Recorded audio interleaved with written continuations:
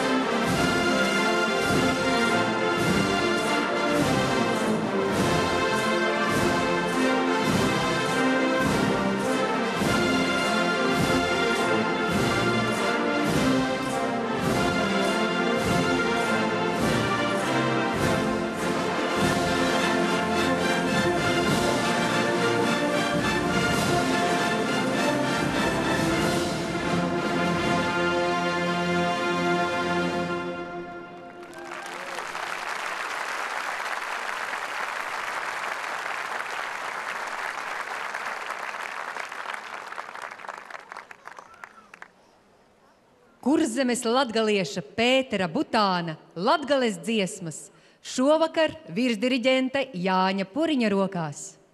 Uz meža perka lielās skatuves sagaidīsim Latvijas kordirģentu korī.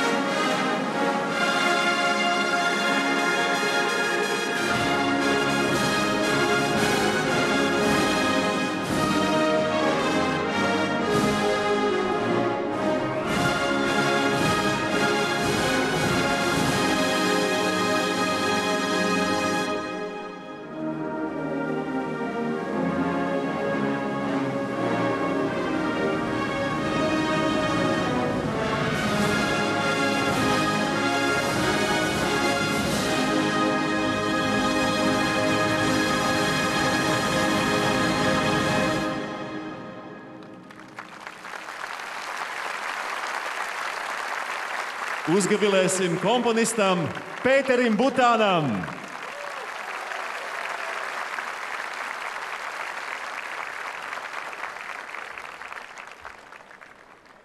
Sveiksim ar aplausiem!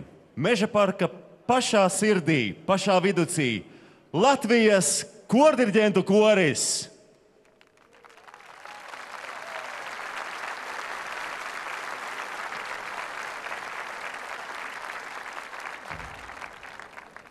Ar Jura Karlsona svētku mūziku, ko vadīs virsdiriģents Haralds Bārsdiņš, sveiksim dziesmu svētku virsdiriģentus.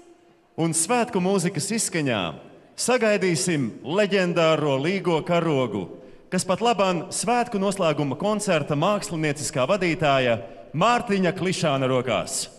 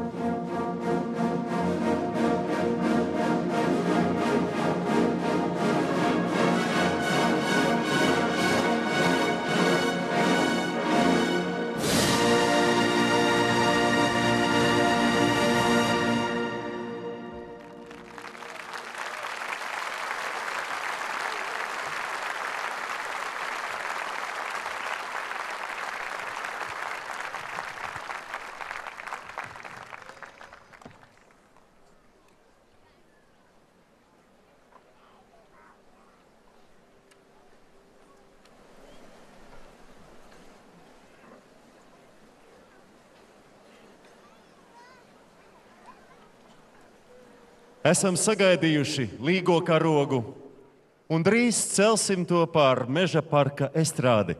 Un tā būs pirmā ceļa zīme svētku noslēguma gājumā.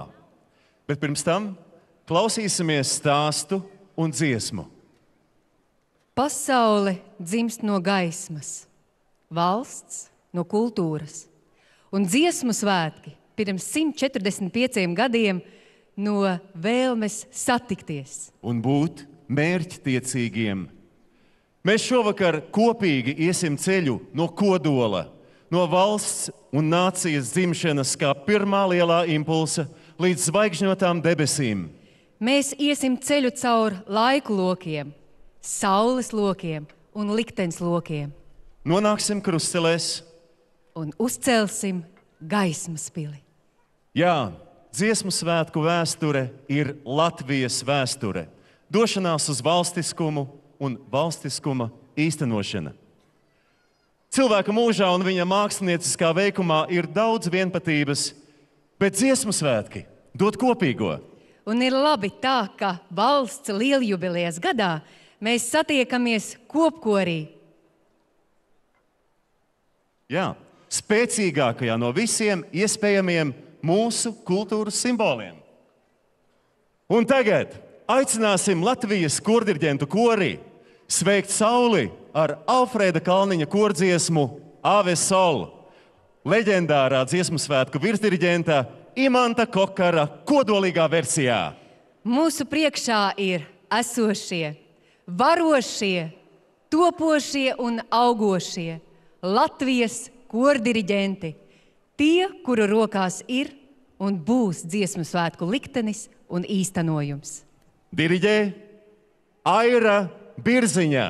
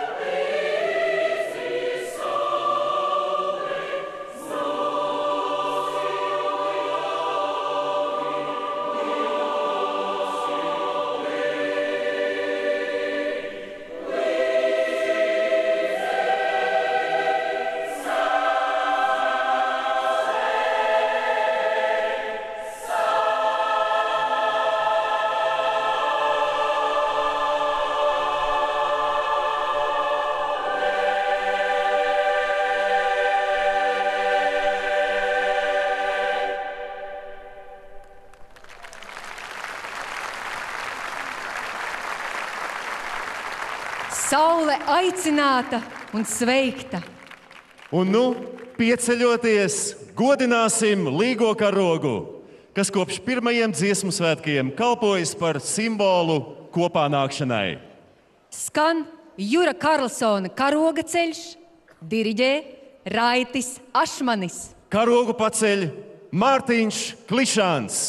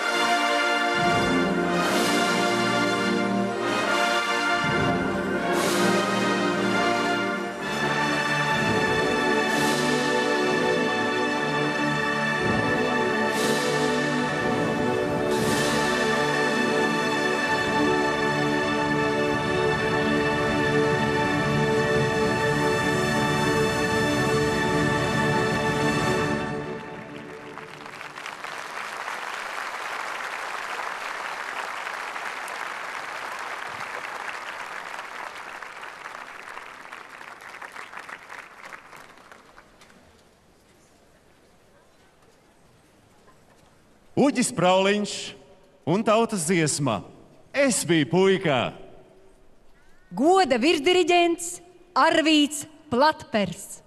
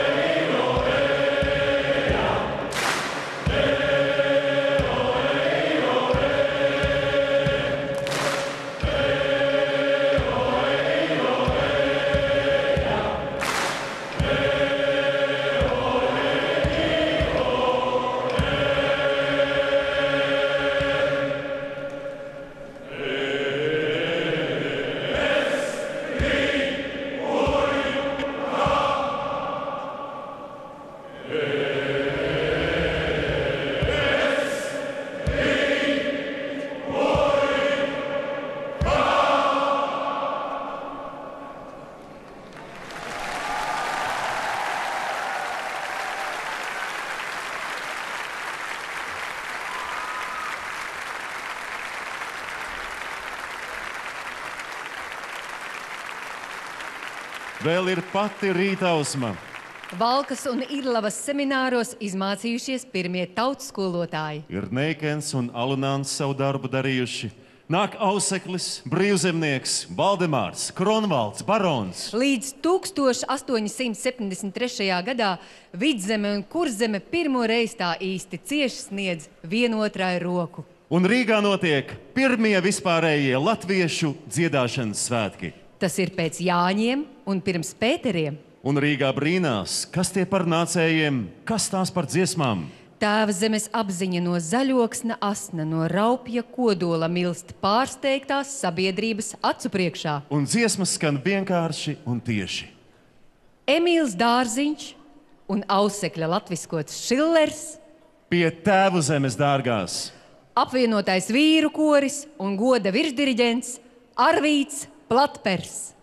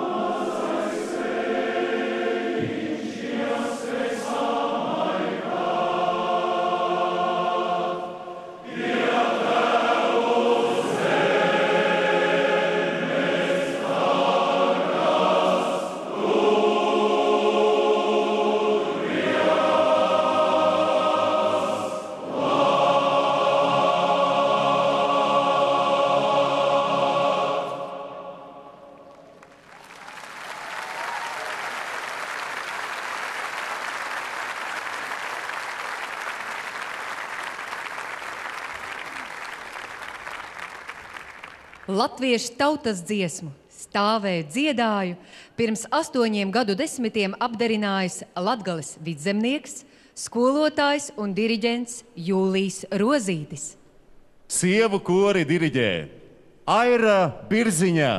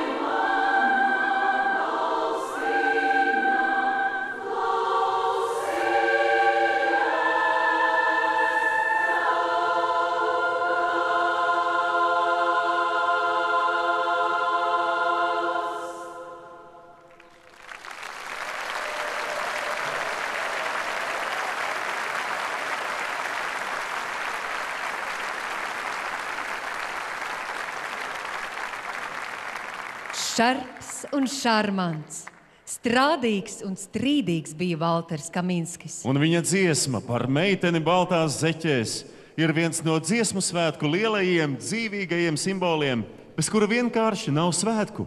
Ar imanta ziedoņa dzeju, Waltera Kaminska komponēta, mūžu mūžos būs dziesma.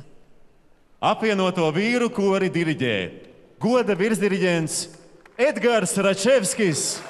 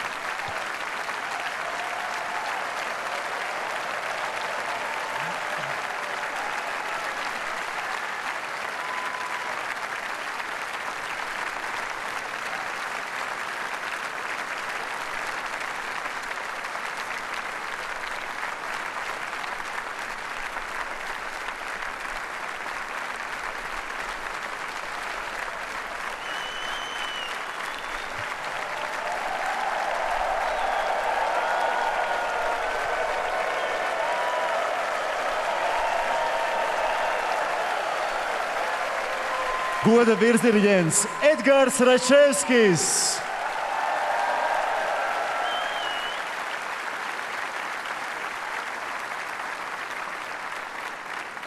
Parīzē studējušais un Kanādā lielāko daļu mūža vadījušais Tālivaldis Ķeniņš daudziem ir laikmetīgās mūzikas simbols. Bet viņš varēja arī tā, pavisam vienkārši. Es meitiņa kā rozīte. Diriģē Māra Marnauzā.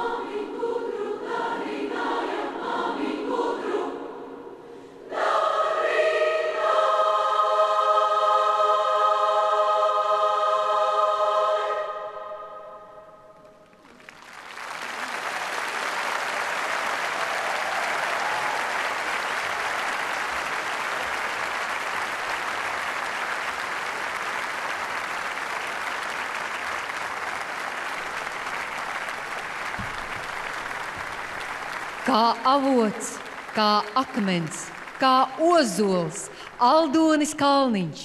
Un ar skaidrītas kaldupes dzēju dziesma Latgalē. Diriģē Romāns Vanaks.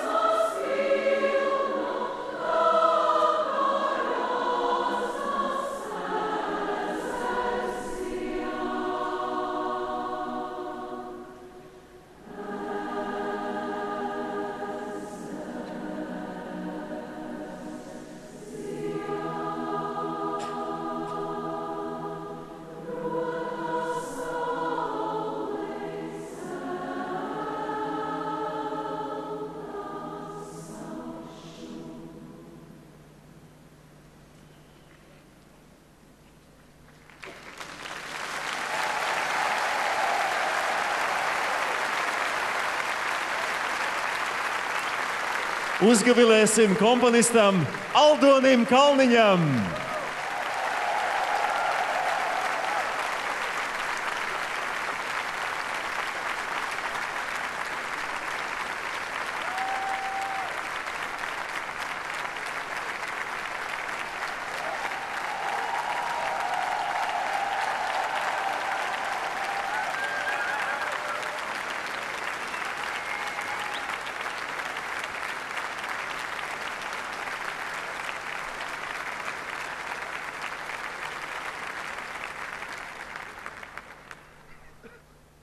Mēs paliekam Latgalē un satiekam Ilonu Rupaini. Un viņas balss ir tik īpaši latgaliska, dzīvīga un noslēpumaina. Jumja dziesma, Ilonas Rupainas pārveids, kora grupa medikus no Rēzeknes un Rūta no Daugopils. Rudolza Bērtiņš ar Celmabungu. Un goda virsdirigents Jānis Zirnis.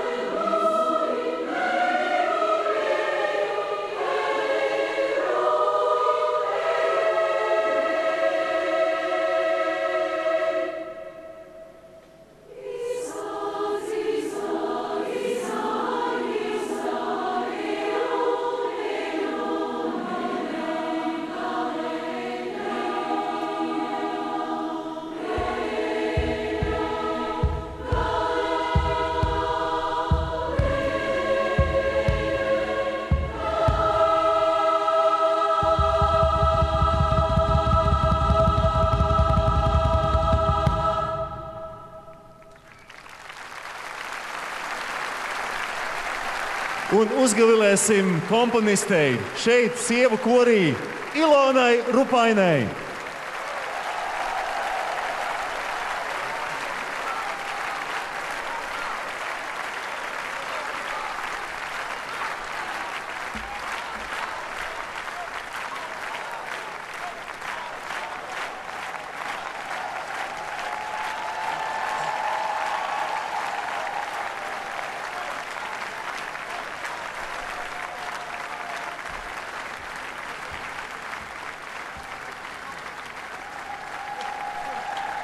Jumis. Jumis tā ir tā ražība, ražība no tīruma ņemta. Bet zelta zirnis vai pati saule īsi pirms vasaras saulgriežiem? Diriģēs Ilze Valce un būs valda zilvera dziesma. Es pārsviedu zelta zirnī.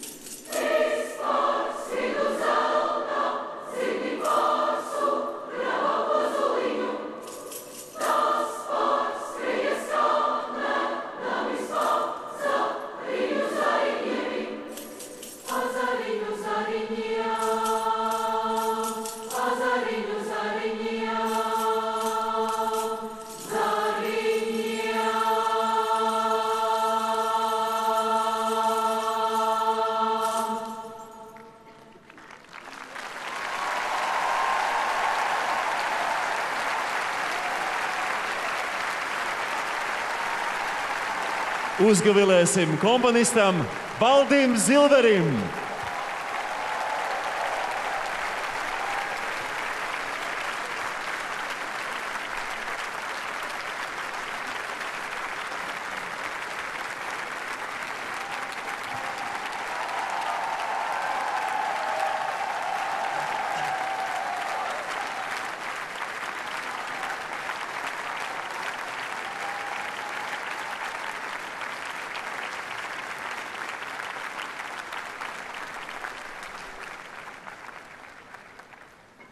Jurijānu Andrejs ir viens no mūsu profesionālās mūzikas pirmajiem rītausmas cilvēks.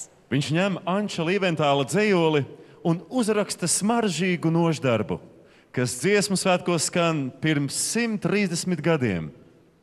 Lūk, roze zied! Diriģē Andrejs Mūrnieks.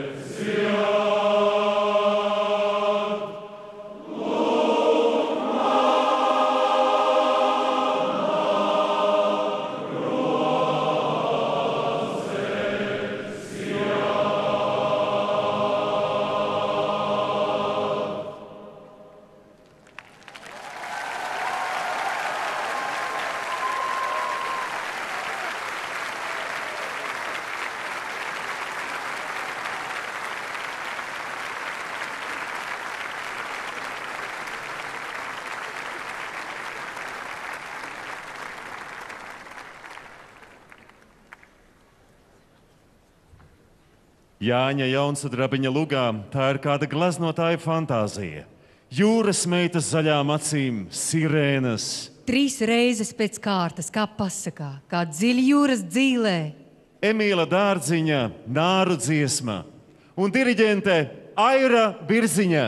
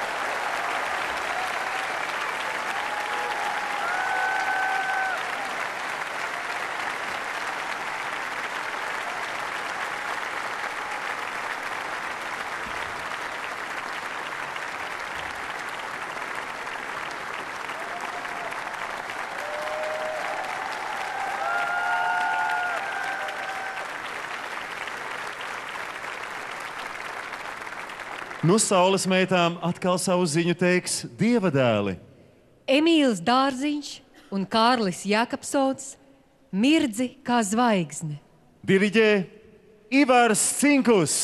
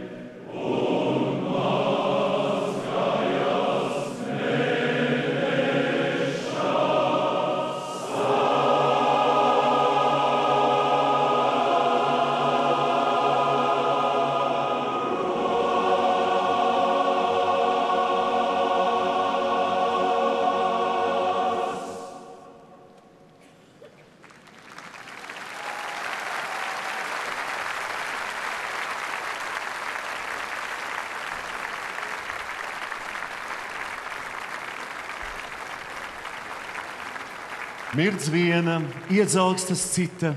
un nu ir krustiem visas debesīs.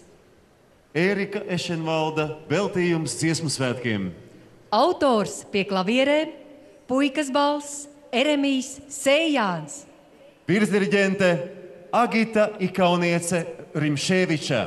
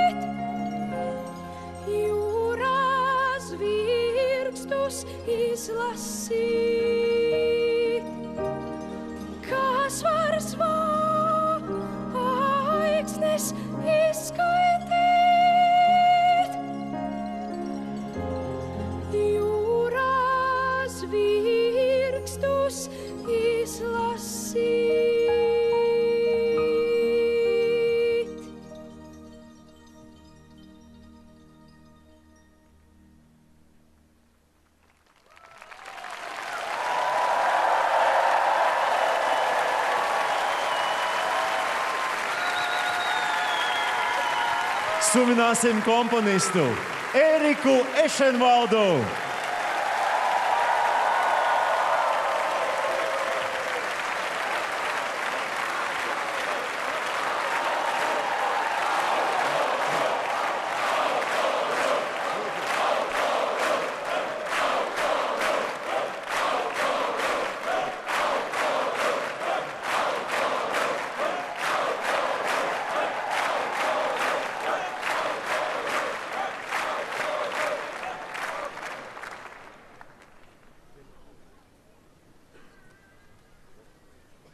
Ar dieviņa palīdzību pāri visām šķērsu saknēm, cauri šķērsu stīgām, Esam pārgājuši 19. un 20. gadsimta slieksni.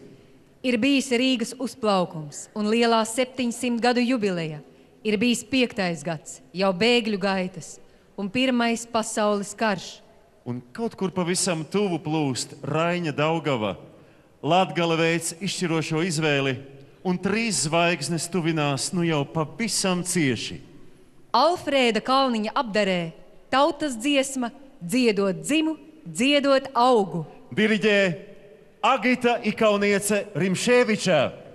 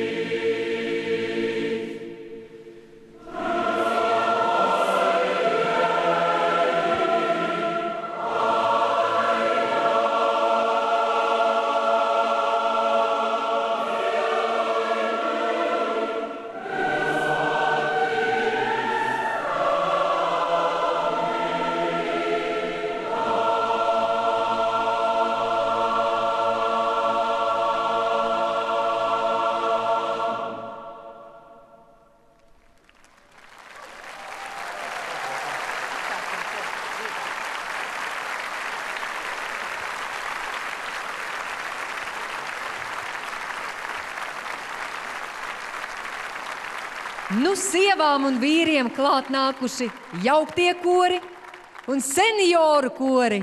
Uzgavilēsim izturīgajiem un mundrajiem senioru koriem!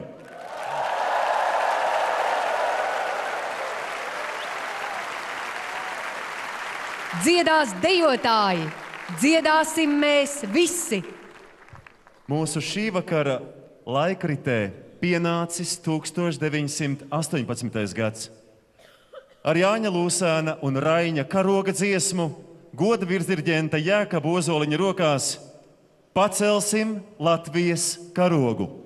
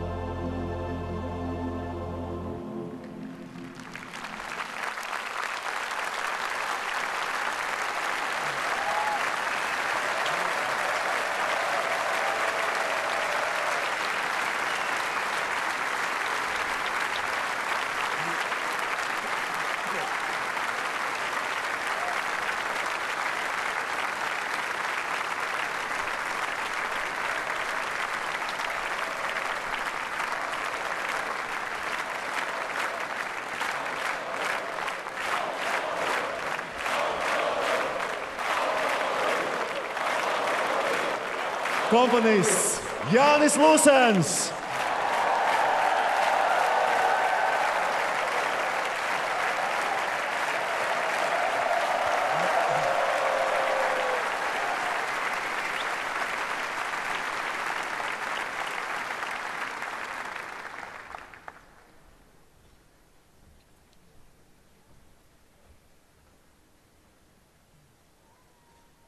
Latvijas valsts prezidents Raimons Vējonis.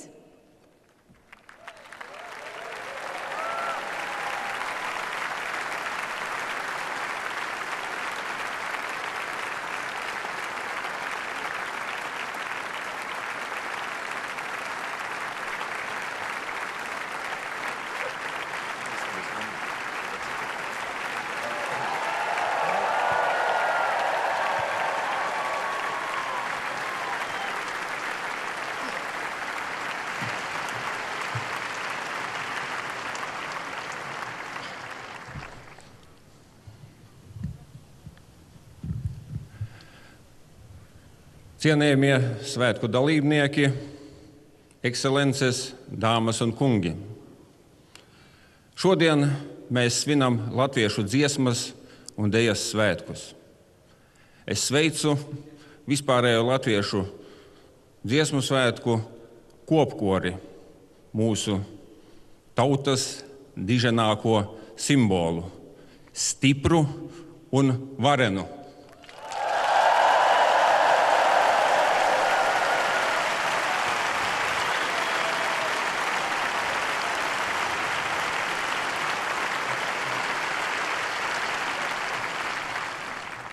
Dziesmu svētku kopkoris tie esam ne tikai mēs šeit, Meža parka lielajā estrātē klātesošie. Mūsu kopkoris ir visi Latvijas kultūrai piederīgie. Visi, kas šodien ir kopā ar mums Latvijā un plašajā pasaulē. Latvijas kultūra ir kaut kas plašāks nekā izrāde, koncerts, izstāde vai kinofilma. Kultūra ir nerakstītas formulas, ko mēs zinām kopš sendienām.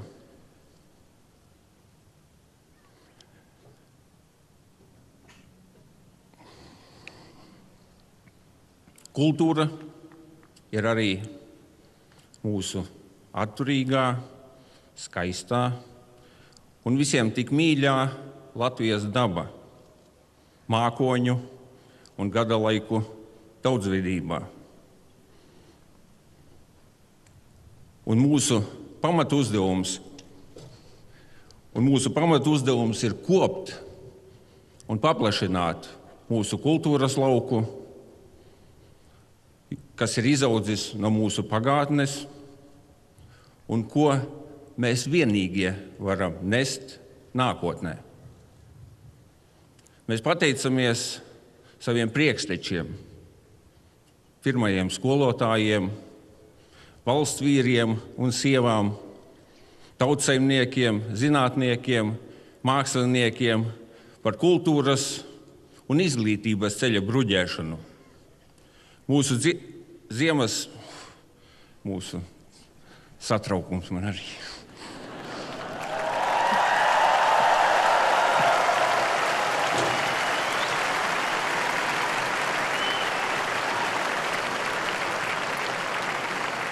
Mūsu dziesmu svētku vēsture skaidri rāda, kā dzimst un aug mūsu nacionālā pašapziņa un valstiskuma apziņa. Vajadzība dzīvot brīvā, bet savā valstī, kur skaļi skan latviešu valoda un kur mūs vieno tevzemes mīlestība. Tā satiekas vidzeme, kurzeme, latgale, tā augšām ceļas nogrimusī gaismas pils, un par mūsu valsts himnu kļūst Baumaņu Kārļa sacerētā, aizkustinošā tautas lūkšana. Latvijas valsts pirmais prezidents Jānis Čakste reiz salīdzināja mūsu dziesmu svētkus ar sengrieķu olimpiskajām spēlēm, kur pulcējās visa tauta. Un šī ir mūsu kultūras vēsts, kas kā lāpa deg augstajā dziesmu svētku kalnā. Kopš 19. gadsimta otrās puses. Tā ir lāpa, kas deg nevis pret kādu, bet lāpa, kas deg par spīti visam, parādot mūsu latviešu tautas garaspēku. Dziesmu un deju svētku koncerts ir ne tikai koncerts, tas ir mūsu tautas simbols. Simbols visam tam, ko mēs radījām, radām un radīsim. Tas ir simbols visam tam, ko mēs izdarījām, darām un darīsim. Mēs esam un būsim, jo es un jūs, mēs esam Latvija. Dievs svētī Latviju! Mm.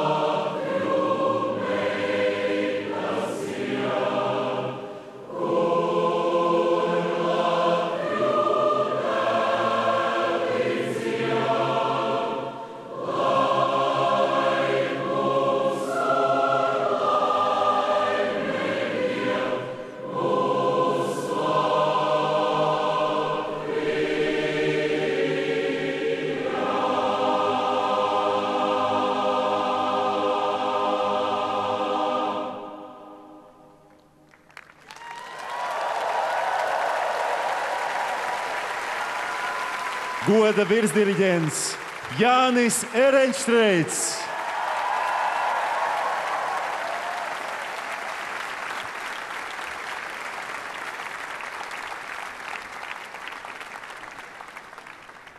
Latvijas Republikas kultūras ministre Dace Melbārde.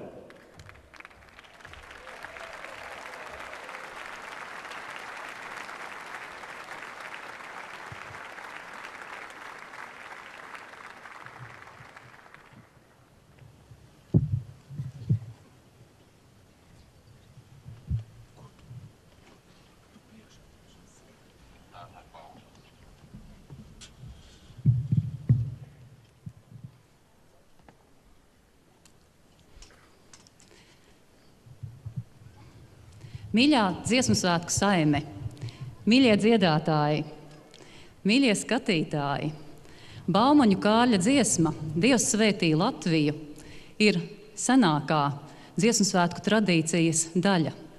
Tā savieno pirmos vispārīgos dziedāšanas svētkus, kas notika 1873. gadā, un kur pir pirmo reizi atskaņoja šo dziesmu ar mūsu laiku, kad svinām savu Latvijas valsts simtgadi.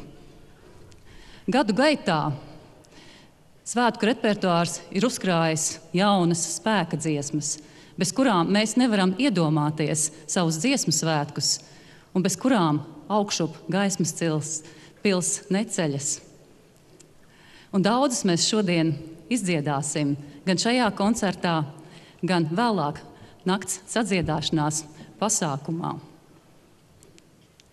Ojārs Vācietis kādreiz ir rakstījis, kad esat tukši, ejiet uz lielo estrādi. Un patiesi, katros dziesmu svētkos mēs ar savu kultūru, valodu, dziesmām, deju, mūziku piepildām sevi ar jaunu enerģiju, ar kuru tālāk doties un celt savu ideālo Latviju realitātē. Šajā tautas pašapziņas un pašcieņas telpā mūsu drošu un stipru roku vada mūsu virsdiģenti un virsvadītāji. Gan tie, kas spēka pilni šodien stājas mūsu priekšā, gan arī tie, kas ir aizgājuši zvaigžņu ceļā un šodien ir kopā ar mums, mūsu sirdīs. Pieminēsim šodien dižākos no viņiem. Paši pirmie dziesmu svētku virsdiģenti - Indriķis Zīle un Jānis Bētiņš, kuriem trešajos svētkos pievienojās Jurijānu Andrejs un Vigneru Ernests. Vēlāko gadu izcilības ir Emīls Melngailis, Pauls Jozus, Teodors Reiters un Teodors Kalniņš. Viņu veikuma pārmantotāji ir grandi un vienaudži, arī konkurenti Leonīds Vīgners un Haralds Mednis, kas kopkora priekšā pirmoreiz stājās pagājušā gadsimta 50. gadu vidū. Trimdā tajā laikā aktīvu darbību izvērš varenais vīru koru kalējs Roberts Zuika. Un tad nāk Jānis Dūmiņš ar plašu vērienu, Daumans Gailis ar smalku inteliģenci, spēkpilni sirsnīgais latgalietis Staņislavs Broks, majestātiskā Ausma Derkēvica un prasmīgais Imants Cepītis, vienkāršais Jānis Uzoliņš un leģendārie brāļi Kokari. Visu šo leģendāro personību, leģendārās personības mēs jūtam dziesmu svētku pamatos. Uz viņu devuma šobrīd veidojas mūsu laiku diriģentu prasmes un zināšanas. Un tikko notikušajos koru karos mēs varējām ieraudzīt jau jaunu, spēku pilnu, daudzsološu jauno diriģentu paudzi, kas tālāk nesīs dziesmu svētku tradīciju. Lai šodien stipra augšām ceļas mūsu gaismas pils, lai saule rotā mūsu vaigus un mūsu sirdis.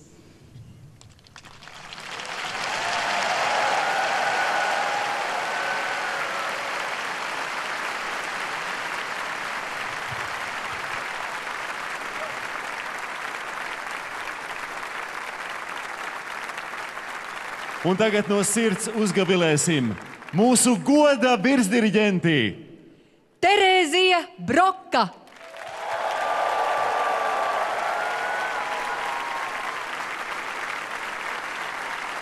Jānis Erenstreits,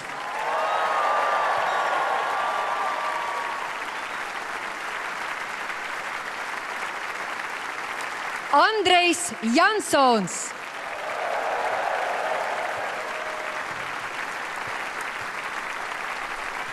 Juris Kļaviņš,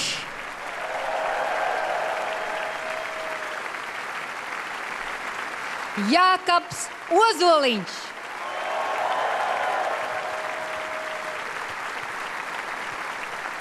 Arvīts Platpers,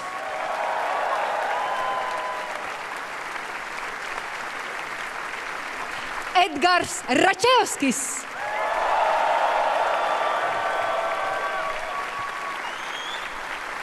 Jānis Zirnis.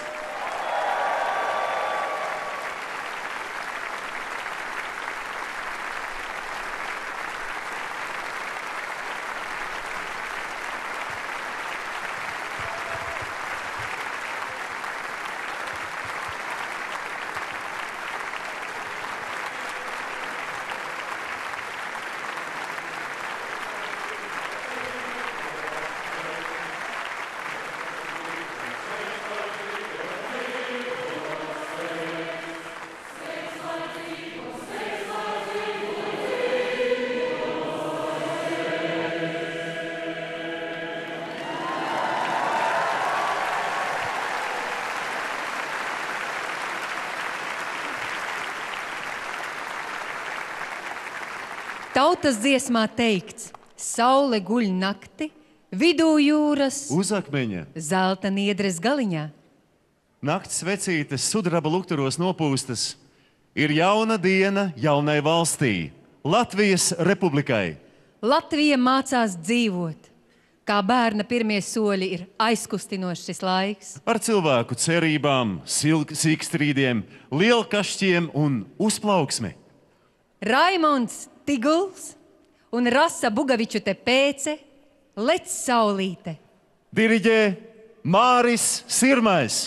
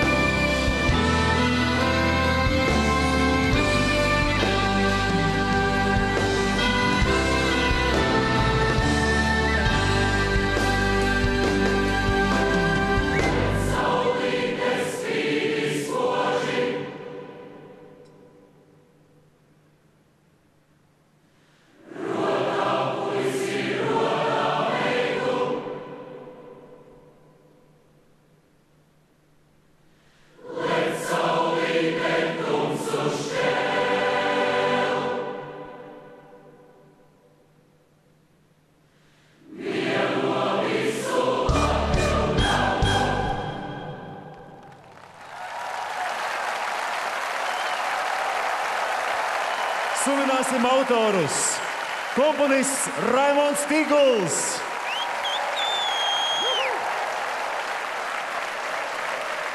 Teksta autore Rasa Bugavičute Pēcē!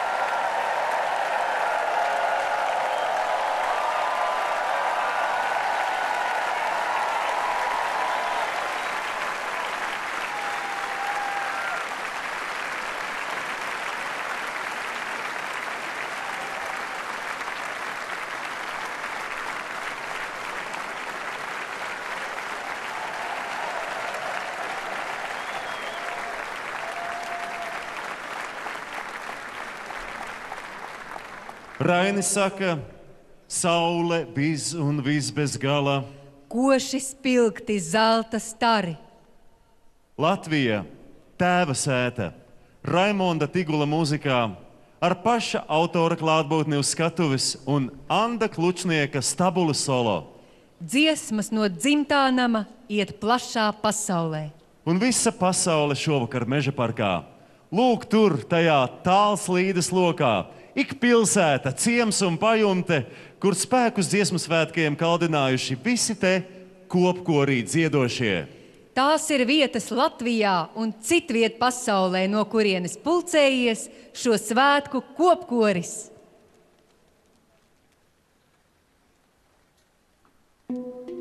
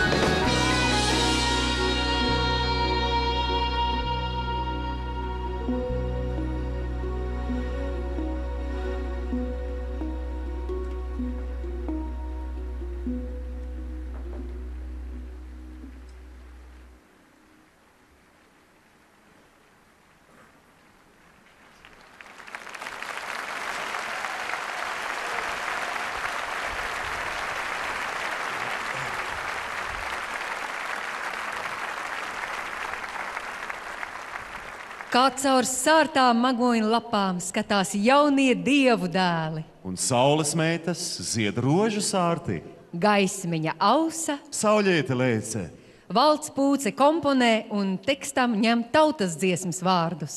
solo dzied Laura Štoma un Undīna Krievāne ar sitamiem Reinis Tomiņš. Diriģē Kaspars Ādamsons.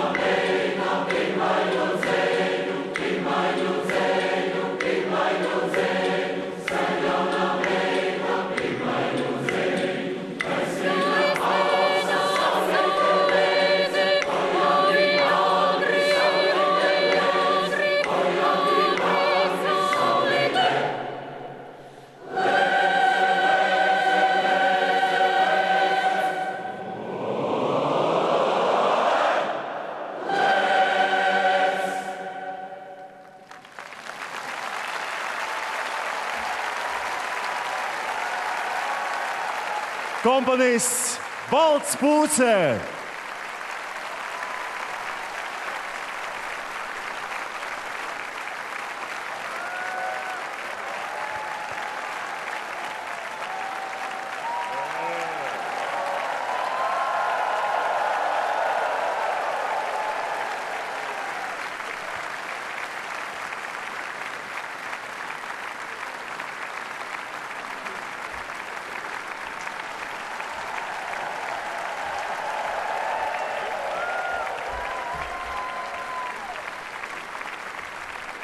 Kāzu dziesmu aiz ezera augsti kalni.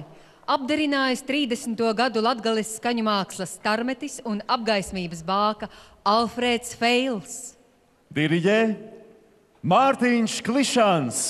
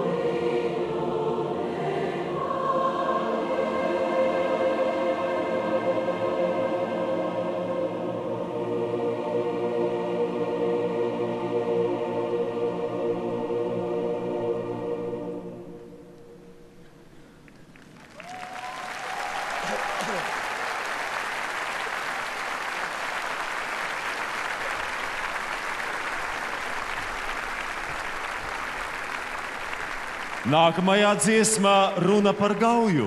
Bet kāpēc tikai gauja? Tik labi Daugava, Abava, Abuls, Venta, Dienvidsusē, Rītupe, Padedze, Irbe, Mēmele, Dubna, Misa, Mūsa, Svēta, Jā, un Bērze. Latvijā ir 11,000 upju, un to kopgarums gandrīz sasniedz ekvatora garumu. Un mēs klausīsimies tautas dziesmu Vodens saucā akmens vilkā, ko apdarinājis spēles meistars, krāčainu un dziļu ūdeņu pētnieks Juris Karlsons. Diriģē Ins Teterovskis.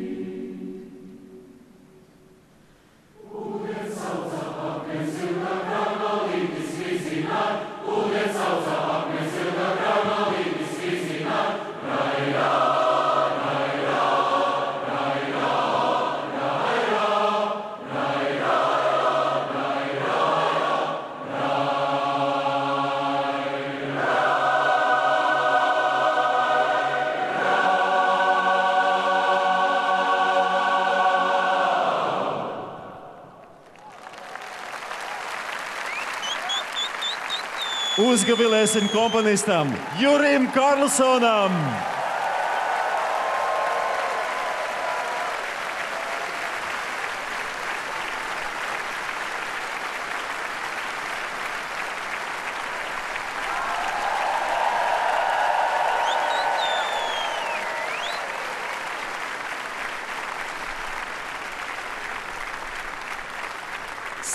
Saule lec no sedliem. Mēnestiņš no iemauktiem. Jaunu komponistu negurstoša audzinātāja un latviskas mūzikas laba pazinēja Sēlga Mence ņem mazliet iz tautas un liek klāt pati no sevis. Un tad ir dziesma, gara, gara šī naksniņa. Un to diriģē Gins Ceplenieks.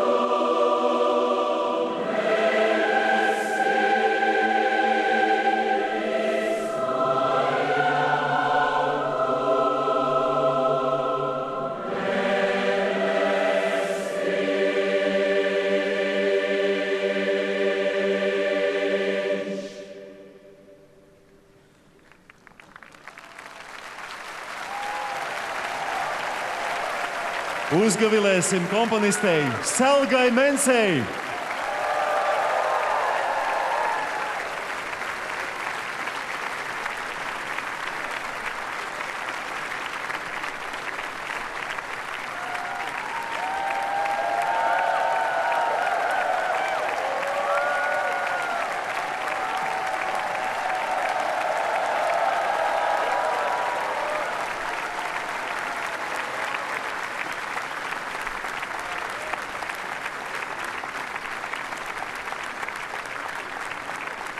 Alsunga ir suitu novadā, un suitiem ir skaļas balsis un bramanīgas dziesmas.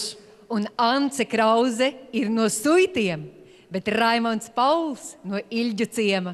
Un tā ir gandrīz kā Rīgas kurzeme. Un dziesma Sasala Jūrīna patīk gan dziedātājiem, gan choreogrāfam Jānim Purviņam, gan dejotājiem. Un būs gan jauktais kopkoris, gan jauniešu deju ansambļi. Un diriģēs Romāns Vanaks.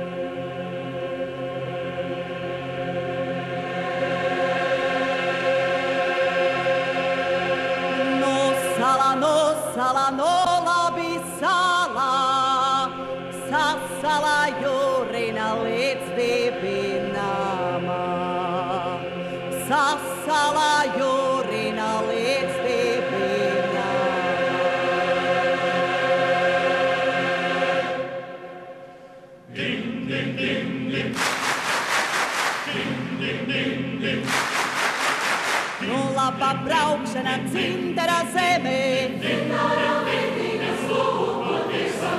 Nu laba braukšana dzintara zemē. Dzintara meitinas lūkotiesa. Dzintara meitinas lūkotiesa. Dzintara meitinas lūkotiesa.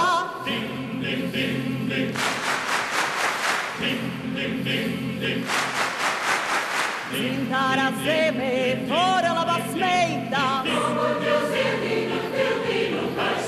Dzintara zemē, fora labas meitas. Ropuķu ziedīnu, tiltīnu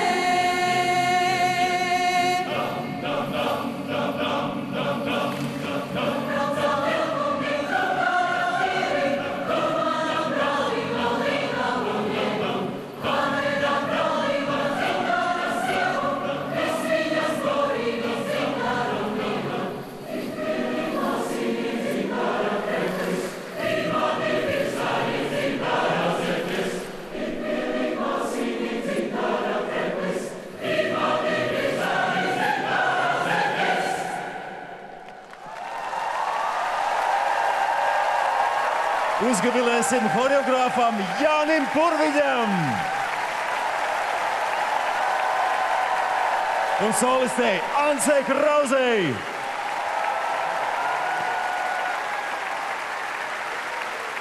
Un, protams, aplausi brašajiem radiokora vīriem!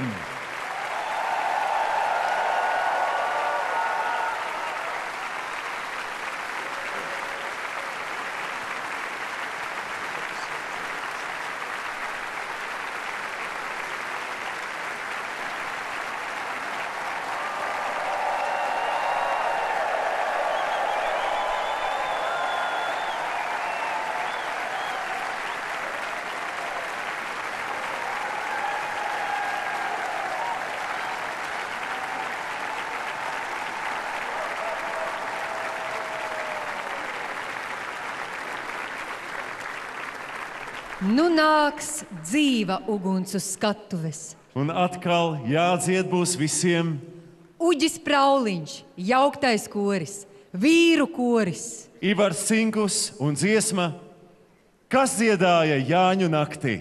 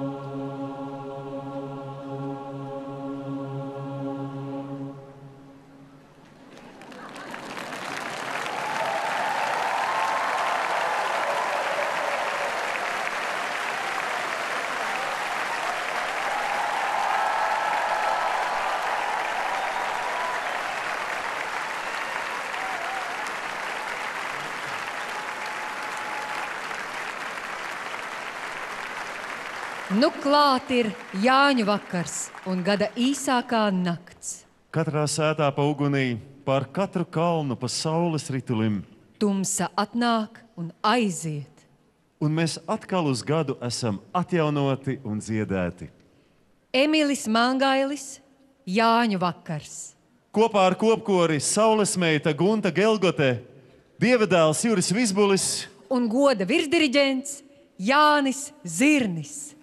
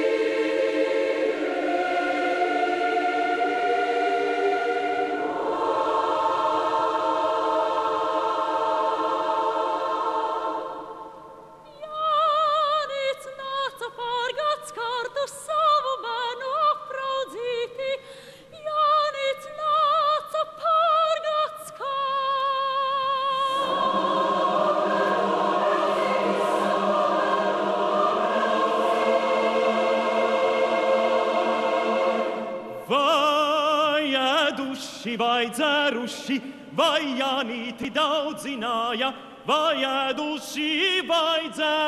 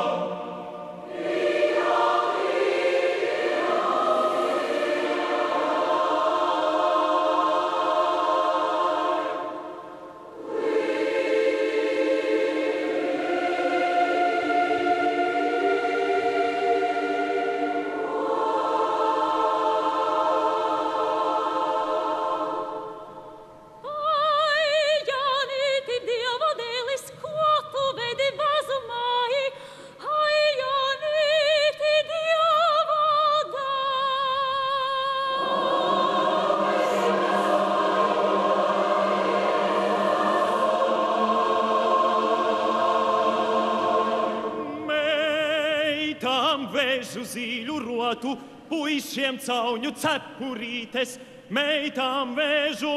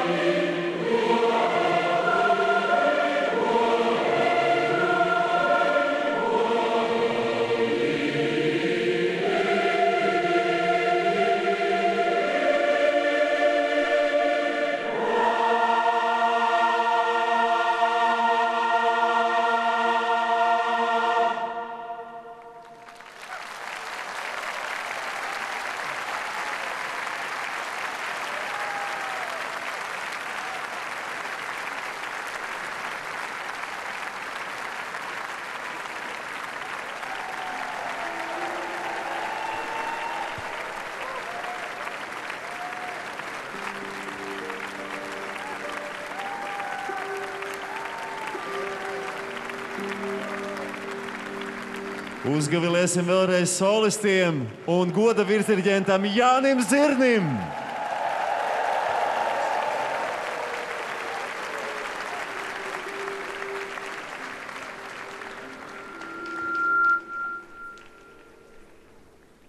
Jānīts sēd ozolā un koklē zelta koklis.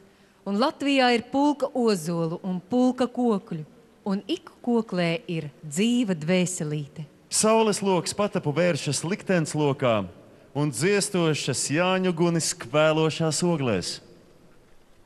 Koklētāja Laima Jansone.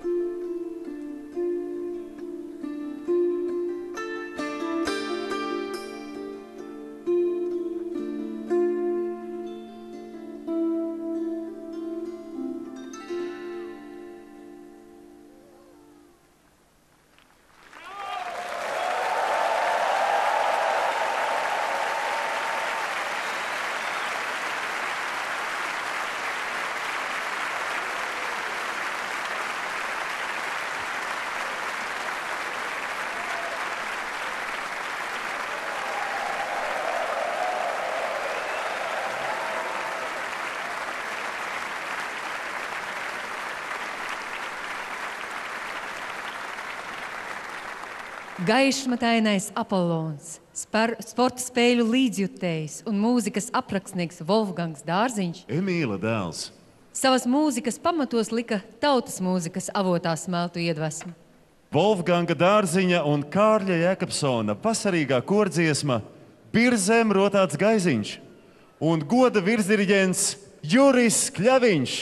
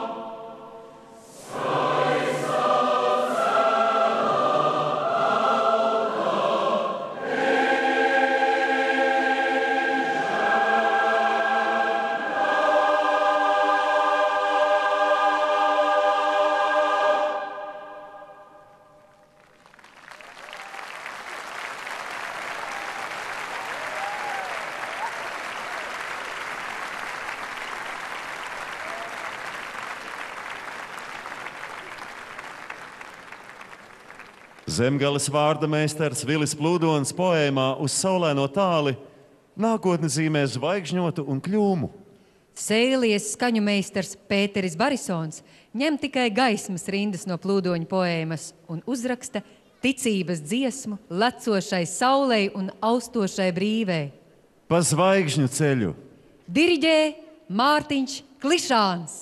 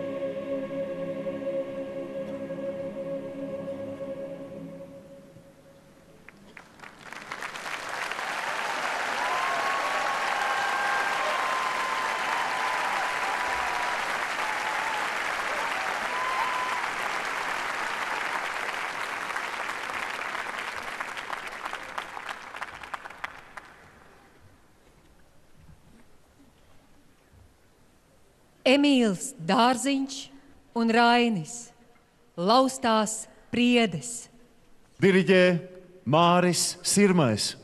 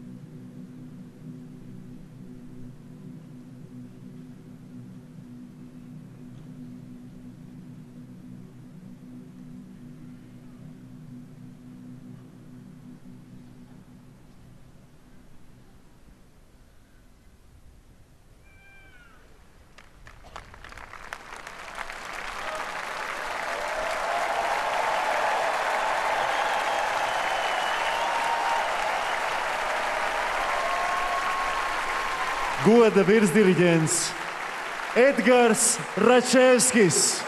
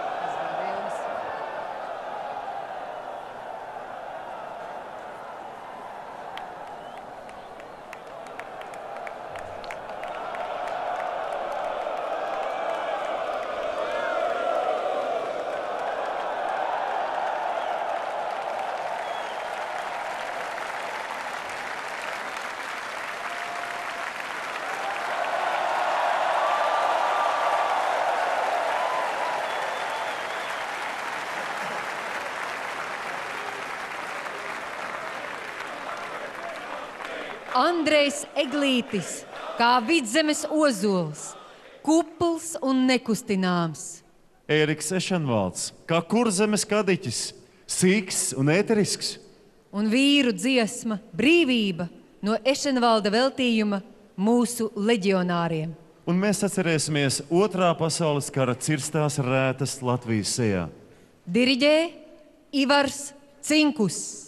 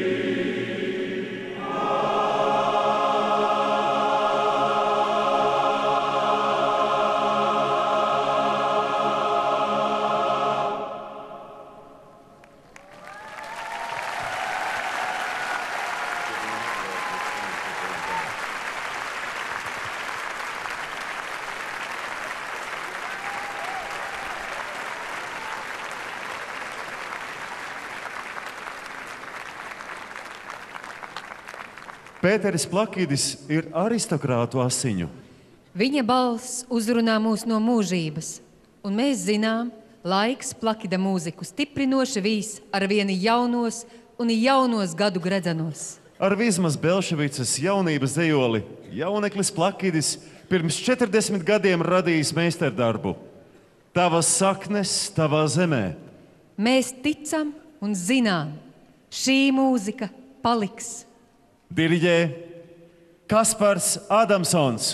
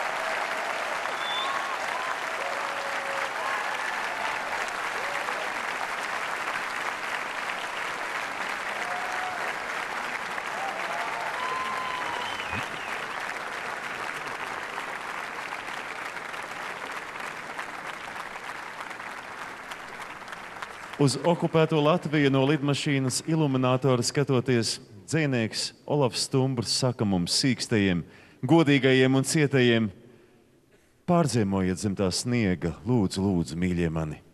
Mīļie, pārziemojiet! Veļu laiks ir sidrabots. Bet mēs esam dzīvi, joprojām dzīvi. Ar uģa prauliņa dievainēm līdzās korim un instrumentu grupai solistes Agate Burkina, Katrīna Paula Felsberga un Asnate Ransāne. Diriģē Sigvards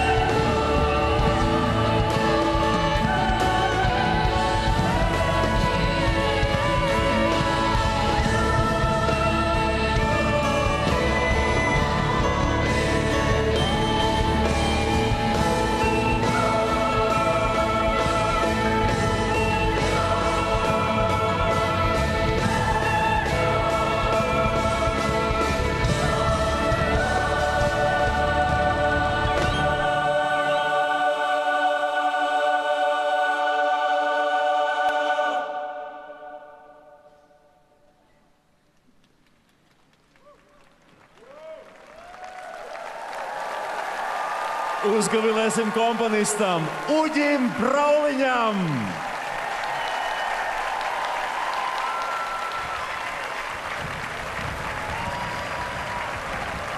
Un solo balsīm Agitai Burkinai, Katrīnai Paulai Felsbergai un Asnatē Ransānei.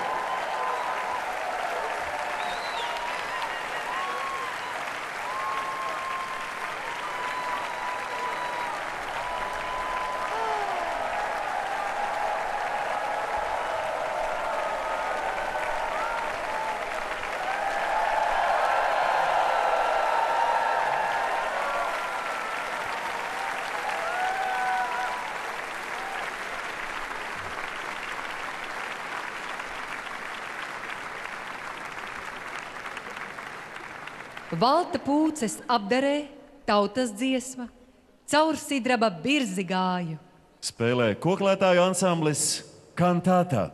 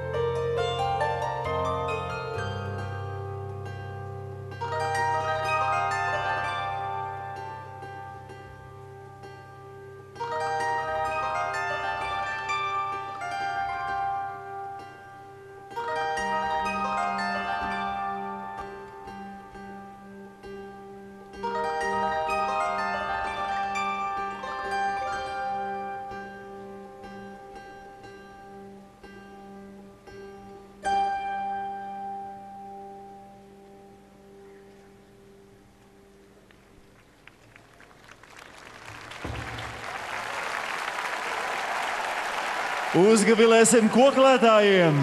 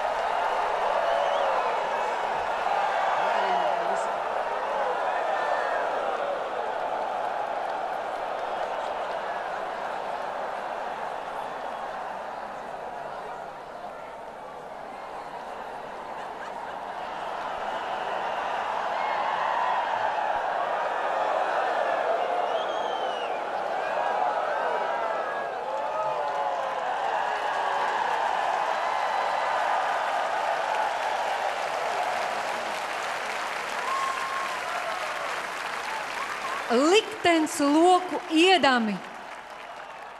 Esam padomi laika sastinguma joslā. Bet dzīve rīt, ļaudis satiekas un sarunājas. Par mīlestību nerunājam, Mīlīgi klusējam vai aizgrābti dziedam. par mīlestību un spītību, par mīlestības mūžīgo uguni, ko nedzēš citzemju vētras. Mārtiņš Brauns un Jānis Peters. Diriģē Aira Birziņā.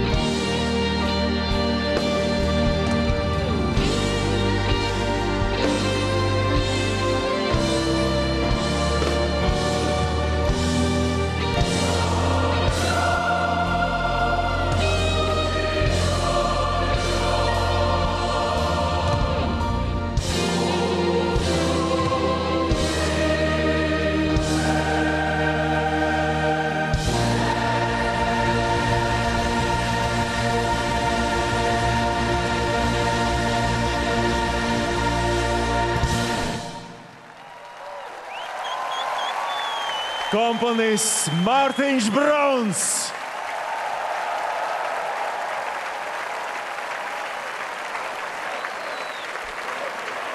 Dzēnieks Jānis Peters.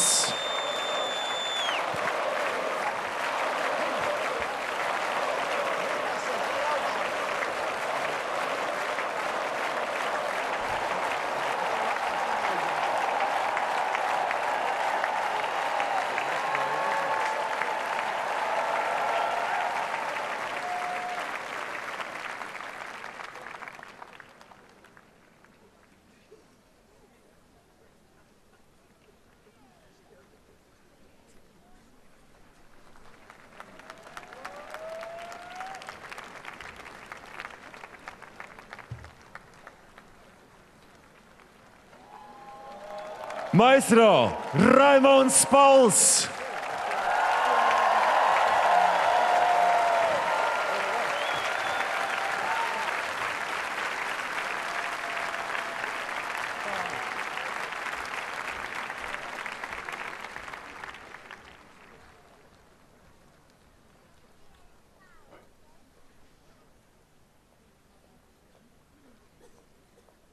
Beidzot, mēs visi esam mājās. Pēc revolūcijām un kariem, pēc izsūtījumiem un trimdām, mirušie un kaujās kritušie, brīvie un dzīvie.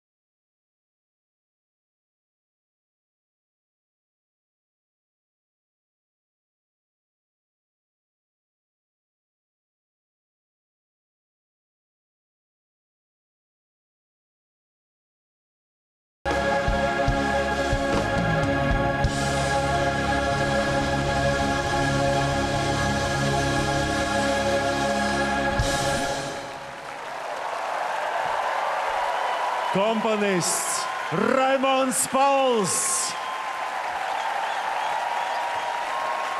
un teksta autors Jānis Peters.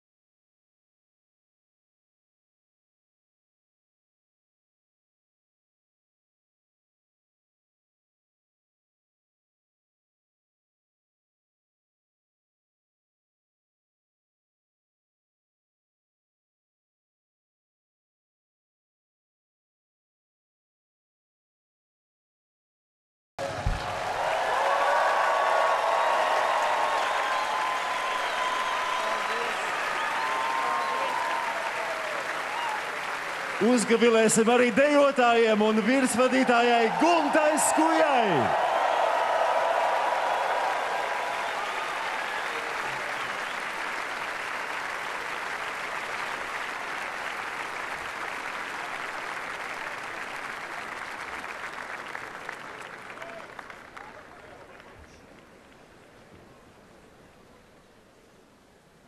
Krustimi dejama, krustimi lecama un grupa Ilģi ar domu biedriem.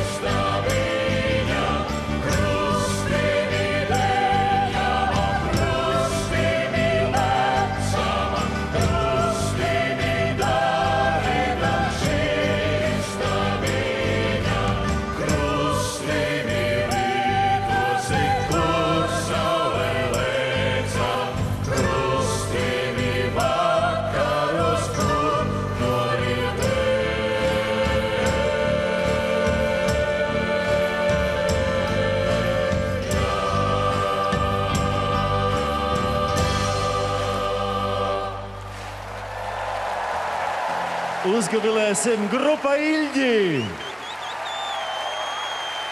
Dejotājiem un horeogrāfam Jānim Erglim.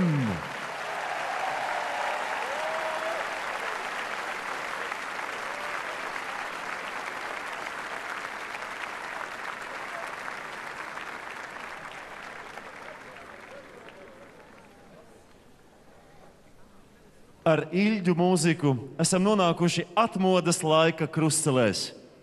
Ticējumi pauž, ka krustcelēs nedrīkst domīgi stāvēt. Krustcelēs ir jārīkojas. 80. gadu otrajā pusē mēs rīkojāmies, protestējām, uzdrīkstējāmies, izzinājām, apbrīnojām, pulcējāmies, dziedājām.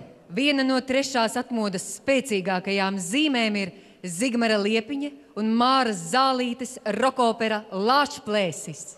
Dažos spilgtos skatos no Latvijas kopkoris, instrumentu grupā, solisti Alberta Godiņa un Dons.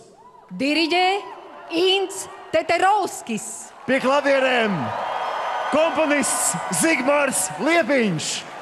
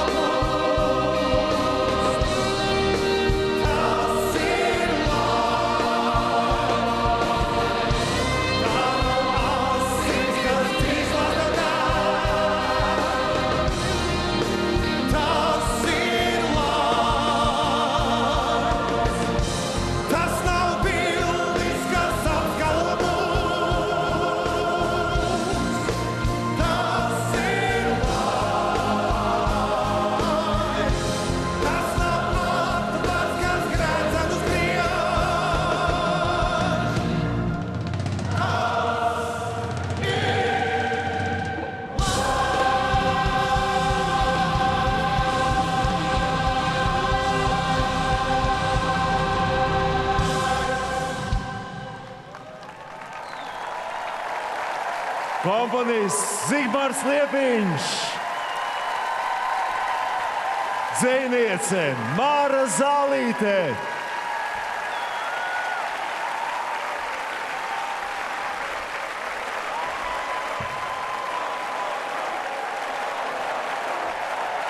Solisti Alberta Godiņa un Dons.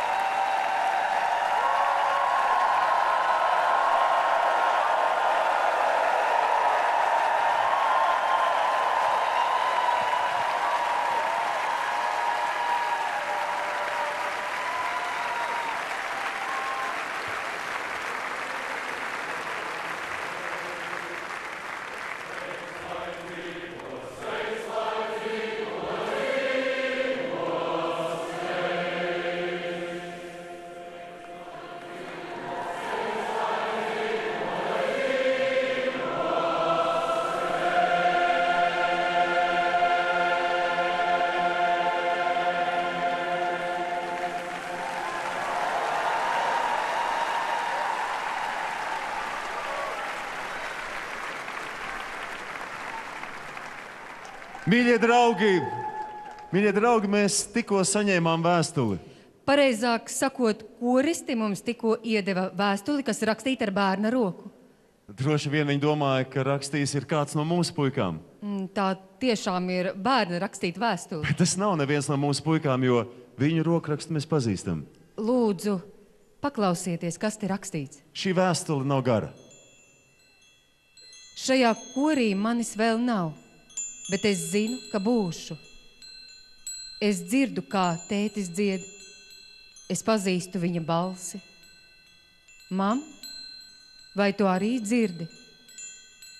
Sadziedāties jūs sāksiet tūlīt, vai varbūt dejosiet balsi? Šovakar dziesmu svētkos mani vecāki iepazīsies. Kad es piedzimšu? Varbūt 2023. Dziesma būs mana karte pasaulē lielā un svešā, līdz gaismas pilī es nākšu no māmiņas aijā žužu. Latvijā dziesmu svētkos. Gaidiet mani, es būšu.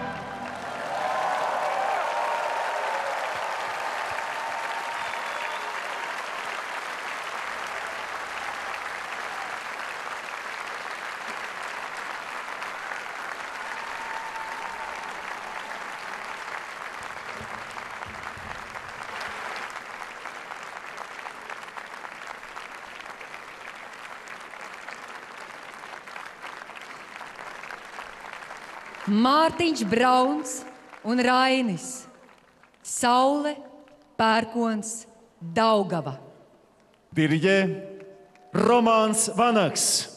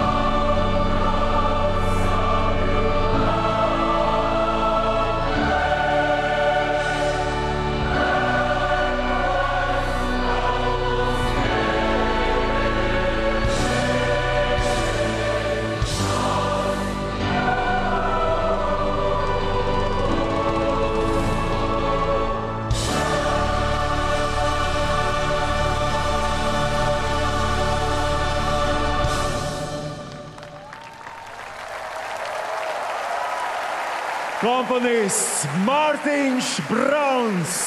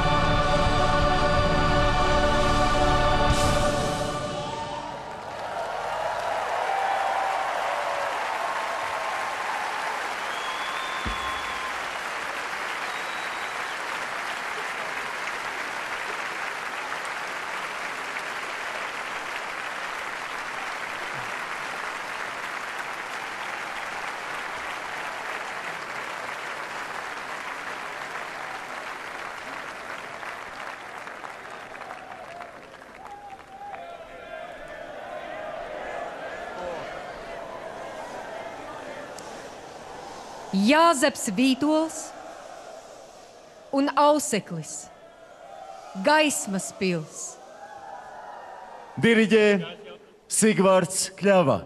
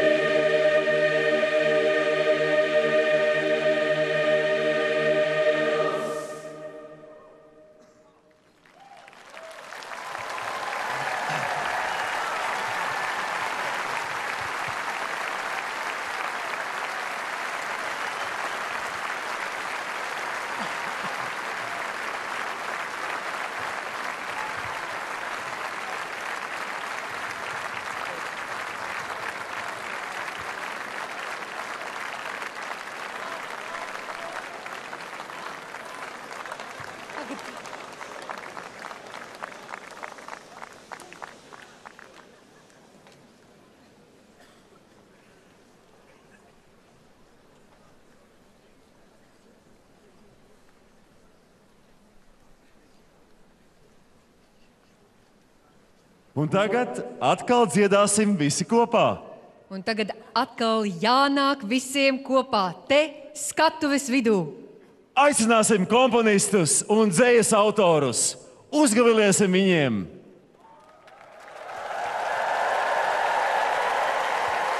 Īpaši milzu sveiciens Inesai Zanderei par dziesmu svētku dzējas ciklu, kas lasāms programmas burtnīcās, arī par bērnu vēstuli, ko dzirdējām šovakar koncertā.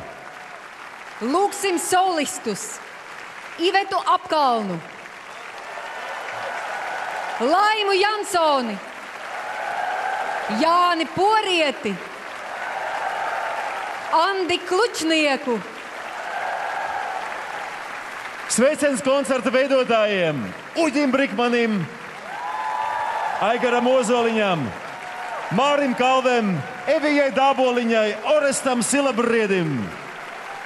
slavinājums NA gaismai, UBS skaņai, Udrim Uzem. un Normundam Slavam. Vislielākais paldies producentiem, darbu vadītājiem un darbu darītājiem. Šis koncerts nebūtu iespējams bez pozitīvas mūzikas grupas lielā veikuma. Paldies kultūras ministrijai, Latvijas Nacionālajiem kultūras centram, radītājiem, atbalstītājiem un jums, lieliskajiem skatītājiem!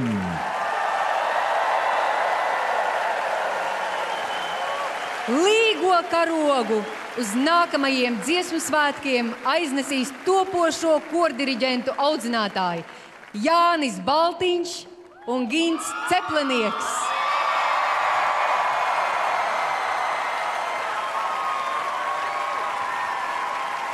Un nu vēlreiz sveiksim goda virsdiriģentus, un viņu vadībā dziedāsim Jurijānu Andreja Pūtveņi.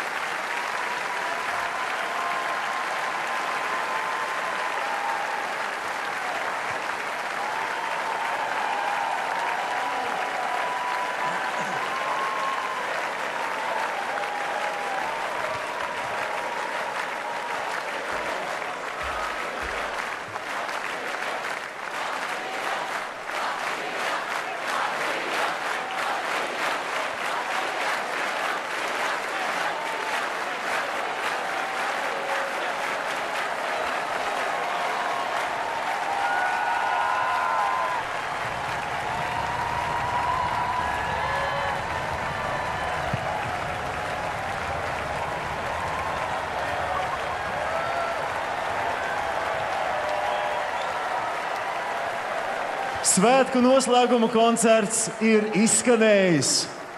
Bet mēs zinām un esam pārliecināti, ka vēl ir tik daudz neizdziedātu dziesmu. Tāpēc mēs ārkārtīgi priecājamies šīs skatuves satikt mūsu mīļos kolēģus no Nacionālā teātra. Ditu Lūriņu Eglienu Un Mārtiņu Eglienu. un priecājamies nodot stafeti, jeb pareizāk sakot, mikrofonus.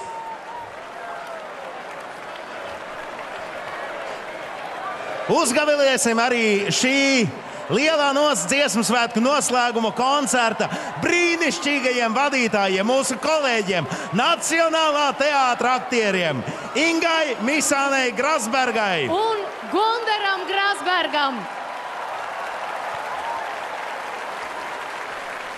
Kā jau jūs nojaušat, mēs ar jums visiem tiekamies lielajā, nozīmīgajā, skaistajā, brīnišķīgajā, garajā sadziedāšanās naktī.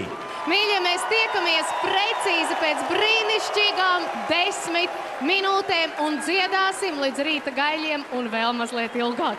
Tiekamies pēc desmit minūtēm un dziedam visu, ko sirds kāro. Uz tikšanos!